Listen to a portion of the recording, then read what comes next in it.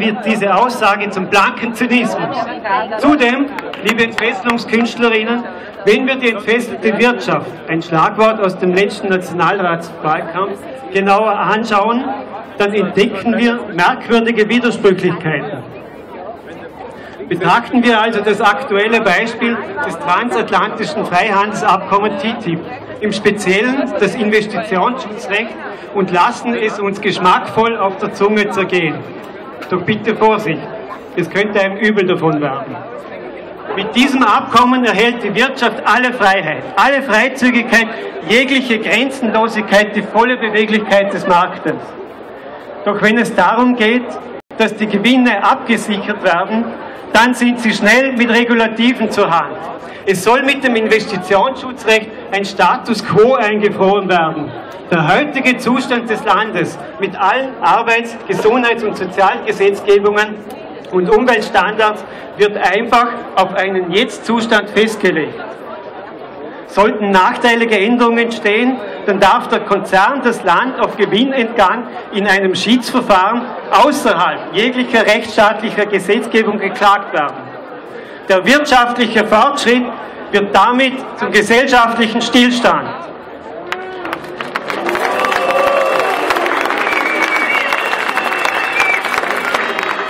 Nebenbei erwähnt, der geklagte Staat kann nur das Recht erstatten, äh, nur das Recht erstreiten, nicht zahlen zu müssen. Somit erkennen wir also ein zweites Paradigma für die heutige Wirtschaft. Volle Freiheit für die Wirtschaft, Regulative für alle anderen Lebensbereiche, denn sie könnten ja die Wirtschaft stören.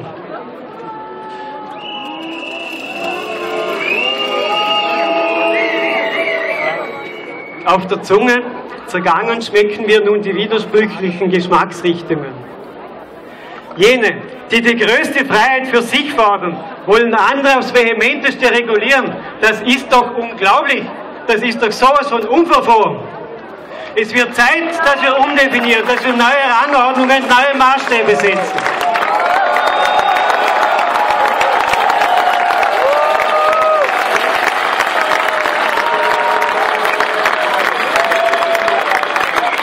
Einer zeichnet sich ab. Geht es der Wirtschaft gut, geht es den Menschen schlecht. Wenn wir nicht darauf schauen, was sie, also die Wirtschaft, tut. Es ist die Aufgabe von uns allen, dass wir lenken, was sich in der Wirtschaft und in der Welt abspielt.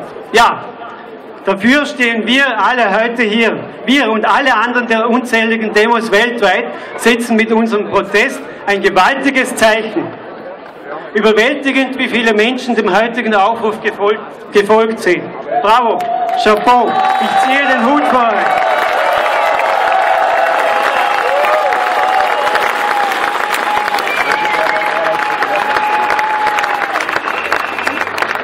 Darüber hinaus sind viele Menschen in zivilgesellschaftlichen Zusammenschlüssen engagiert. Für ein Netzwerk stehe ich heute hier, für die Vorarlberger Armutskonferenz. Die Vorarlberger Armutskonferenz will den Menschen und einer menschlich geprägten Politik zu einer neuen Stimme, zu einer neuen Kraft verhelfen. Derzeit thematisieren wir fünf Bereiche. Wir zeigen auf, dass es an der Zeit ist, zum Beispiel Arbeitszeit gerecht zu verteilen.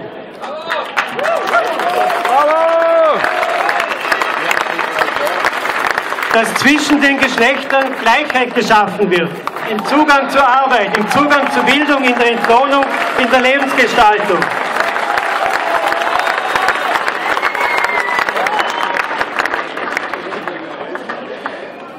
Dass es, ein, dass es ein faires Minimum an Einkommen braucht.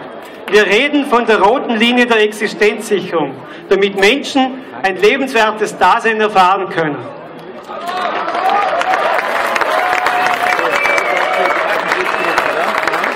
Dass es im Umgang zu materiellen Hilfen Vereinfachungen bedarf, damit jene Menschen, die Unterstützung brauchen, diese sich auch selbst holen können und insgesamt der Verwaltungsaufwand so gering wie möglich gehalten wird, zum Beispiel durch Einführung einer Sozialkarte. Und wir wollen Initiativen setzen, damit die Menschen wieder am kulturellen Leben teilhaben können. Als Beispiel die Interkulturfahrt.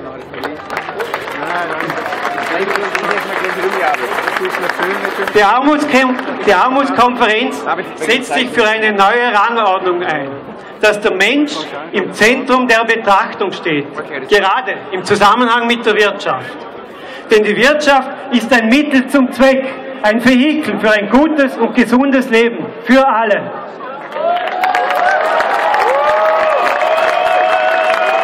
Also, also somit das alles entscheidende Paradigma. Der Mensch steht über der Wirtschaft.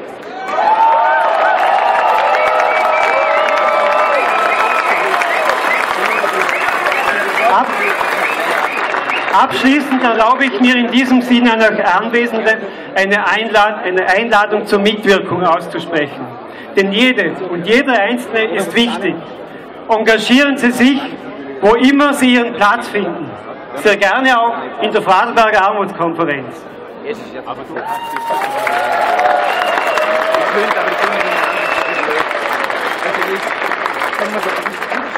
Zitat von Zen-Meister Bernie Glassmann. Wenn wir auf jemanden treffen, der hungrig ist, dann müssen wir ihm zu essen geben. Das spricht uns aber nicht davon frei, uns für ein besseres Sozialsystem zu engagieren, in dem niemand mehr hungern muss. Danke.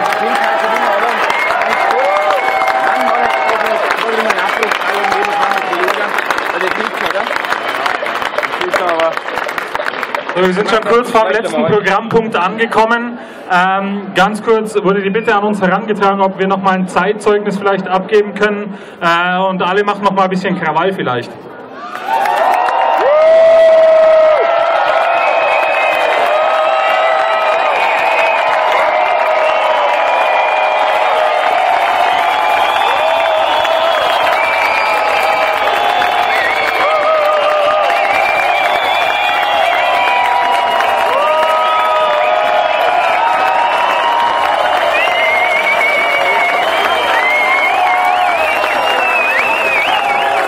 Vielen Dank, vielen Dank. Äh, und unsere letzte, äh, unser letzter Programmpunkt äh, wird präsentiert von Simone König und zwar Gentech, Gentechnikfreie Bodenseeregion. Bitte.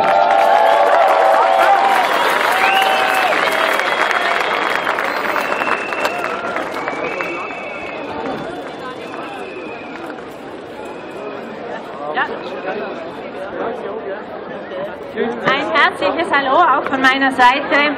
Mein Name ist Simone König. Ich bin hier als Vertreterin der Initiative Gentechnikfreie Bodenseeregion. Und ich überbringe euch allen die Grüße von allen Menschen rund um den See, die sich für die gentechnikfreie und kleinbäuerliche Landwirtschaft einsetzen.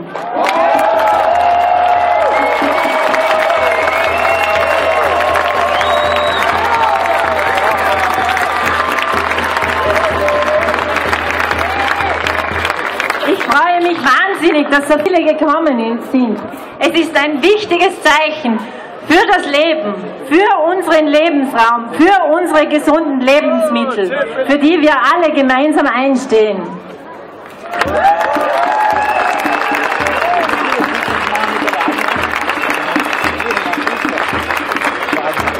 Die Initiative Gentechnikfreie Bodenseeregion steht für den absoluten Schutz des Saatguts, die gezielte Förderung von standortangepasster ökologischer Saatgutzüchtung und den Erhalt der biologischen Vielfalt.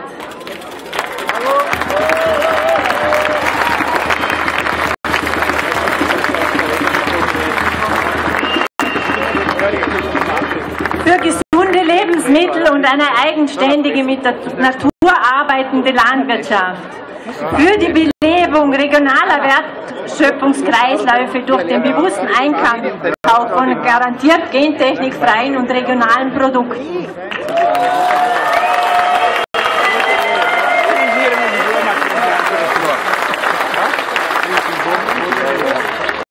Diese Initiative gibt es nunmehr seit über zehn Jahren als gemeinsamen Zusammenschluss der Länder rund um den See Schweiz, Baden-Württemberg, Bayern und Vorarlberg. Und überall sind maßgebliche Organisationen, Umwelt- und Naturschutzorganisationen, Bauernorganisationen und andere äh, aktiv um diese Ziele voranzutreiben. Und gerade vor einem Monat hat der Bodensee-Landkreis den Beschluss gefasst, auch eine gentechnikfreie Region zu werden.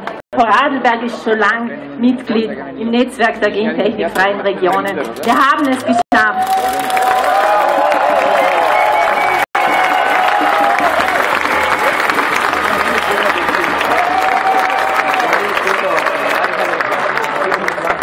Genauso wie wir es gemeinsam geschafft haben, die Saatgutverordnung zu kippen. Es wurde zurückgeschickt, es gibt keine Saatgutverordnung für, den, für, für jetzt. Aber wir dürfen uns nicht vormachen, das ist ein Etappensieg, ein ganz wichtiger Etappensieg. Fakt ist, unsere Saatgutversorgung beruht auf ähm, ja, 95 Prozent des Saatgutes, das so handelsüblich äh, in Europa äh, zum Einsatz kommt, wird von fünf Konzernen bereitgestellt. Monsanto ist einer von ihnen, sie stellen ungefähr 24 Prozent. Das heißt, die Abhängigkeit ist sehr groß. Deshalb ist es ganz wichtig, äh, die ökologische Saatgutzucht im, äh, in unserem Umfeld, in, in unserer Region zu fördern.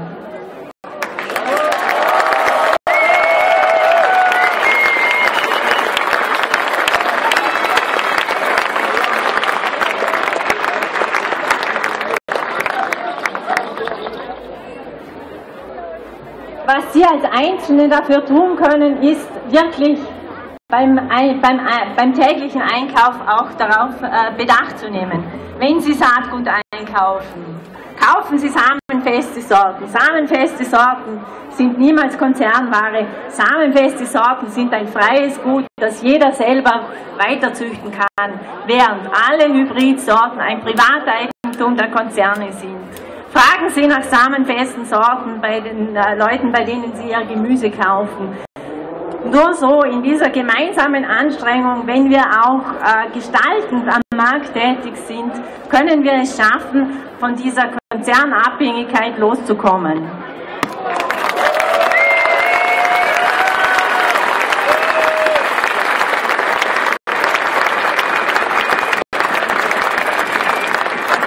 Und wenn wir dies tun, dann unterstützen wir auch einen Beschluss des Vorarlberger Landtages, der eben dies auch beschlossen hat. Der Vorarlberger Landtag bekennt sich zum Ziel, die Abhängigkeit von hybriden Saatgutsorten, die zumeist von Monopolisten vertrieben werden, in Vorarlberg zu verringern und standortangepasste, robuste und vermehrungsfeste, samenfeste Saatgutsorten zu fördern. Für diese Unterstützung sind wir heute da.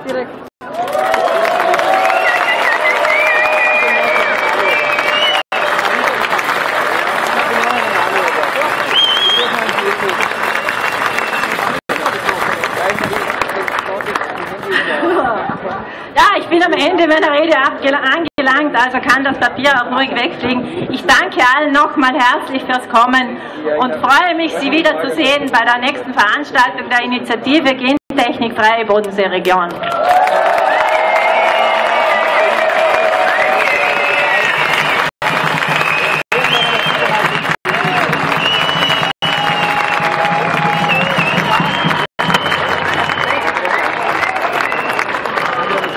Vielen Dank, Simone. Ich glaube, äh, es ist auch an der Zeit. Jetzt haben wir alle Redner gehört. Nochmal einen donnernahen Applaus für alle fünf. Bitte.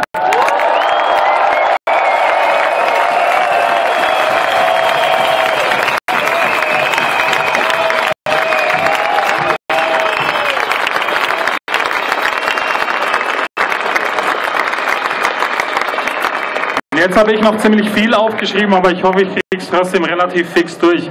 Es geht um organisatorische Sachen. Das erste wurde gerade an mich herangetragen. Beim Maiskolben gibt es jetzt nur noch Notfallrationen für Wasser leider. Also das Wasser ist leider ausgegangen. Die Demonstration entgegen dem, was im Wann und Wo angekündigt wurde, endet heute leider hier. Wir können aus organisatorischen Missverständnissen leider nicht in die Stadt, weil dort ein Spielefest stattfindet am Kornmarkt.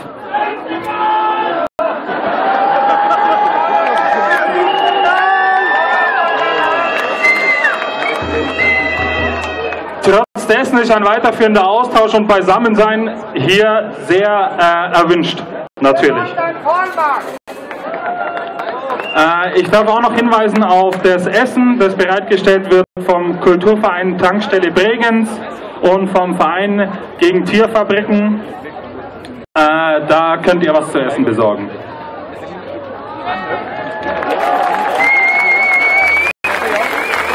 Und im Kornmesser, das wäre am Kornmarkt gewesen, wo wir eigentlich die Demonstration beenden wollen, äh, gibt es im Kornmesser äh, noch Freibier, das zur Verfügung gestellt wird. Wer da hin möchte, ich soll allerdings darauf hinweisen, äh, möglichst äh, zivil sich dorthin zu bewegen, zwar durchaus jeden aufmerksam zu machen, um was es geht, äh, aber vielleicht ähm, ja, die andere Veranstaltung auch äh, stattfinden zu lassen.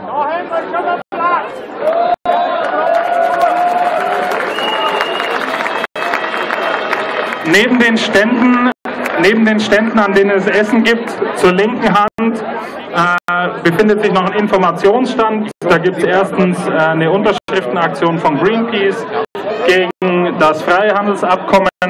Da gibt es Informationen vom Umweltinstitut München, die auch über das Internet jederzeit abgefragt werden können. Und es gibt die Möglichkeit, sich in Listen einzutragen für alle die, die informiert werden möchten über die nächste Veranstaltung oder vielleicht sogar selbst mitwirken wollen beim nächsten March Against Monsanto in diesem Herbst.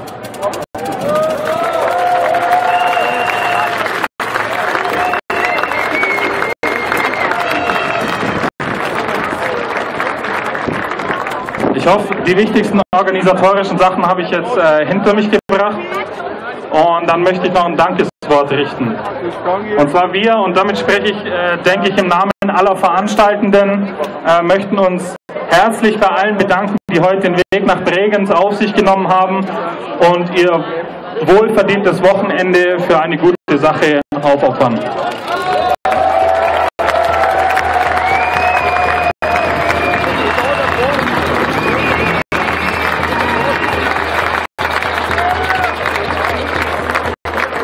Dank gilt allen Teilnehmenden, das seid ihr, allen Vortragenden natürlich und allen freiwilligen Helfern und Helferinnen, ohne die das so nicht möglich gewesen wären, die Informationen verteilt haben, die Werbung gemacht haben und die sich anderweitig in irgendeiner Art und Weise heute hier engagiert haben. Ohne die wäre es nicht möglich gewesen, heute so eine große Menge zu mobilisieren und zu organisieren. Vielen Dank.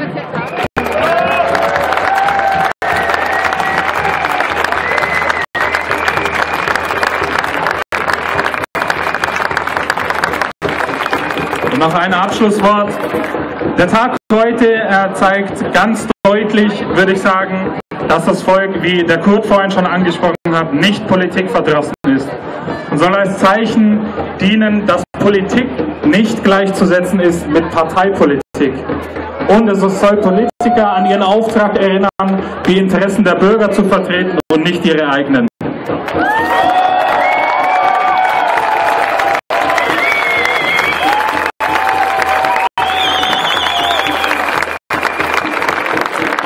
In einer Zeit, in der Mann und Frau sich angesichts herrschender Machtstrukturen, seien die politischer Natur oder aus Geld gewachsen, oft ohnmächtig fühlen mag, äh, seid ihr alle Hoffnung.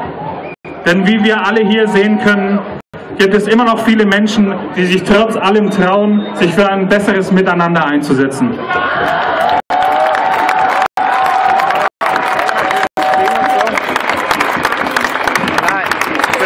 Und eine Bitte an alle, morgen sind Wahlen. Ich hoffe, ihr geht alle wählen und verschafft eurer Stimme Gehör und äh, belastet es aber nicht dabei, sondern tragt den Funken, der euch heute hierher gebracht hat, in euer Leben, in eure Familie, in euren Bekanntenkreis und überall an die Orte, wo dieser Funke ein Feuer entfachen kann, so dass wir gemeinsam eine bessere Zukunft haben können. Vielen Dank.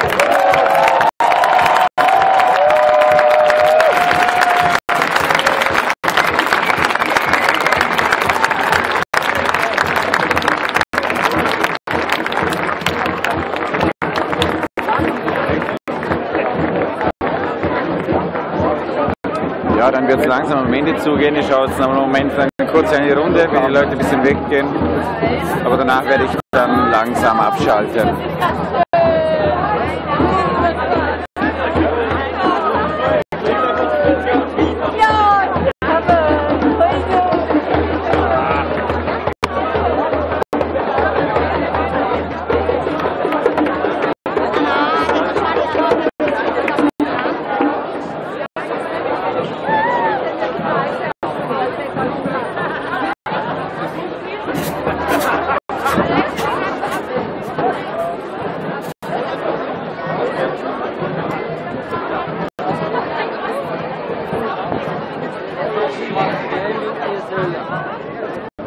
Abgelaufen. Ja, mach keinen Stress. Nur ein paar Minuten löschen, oder? Ganz kurz.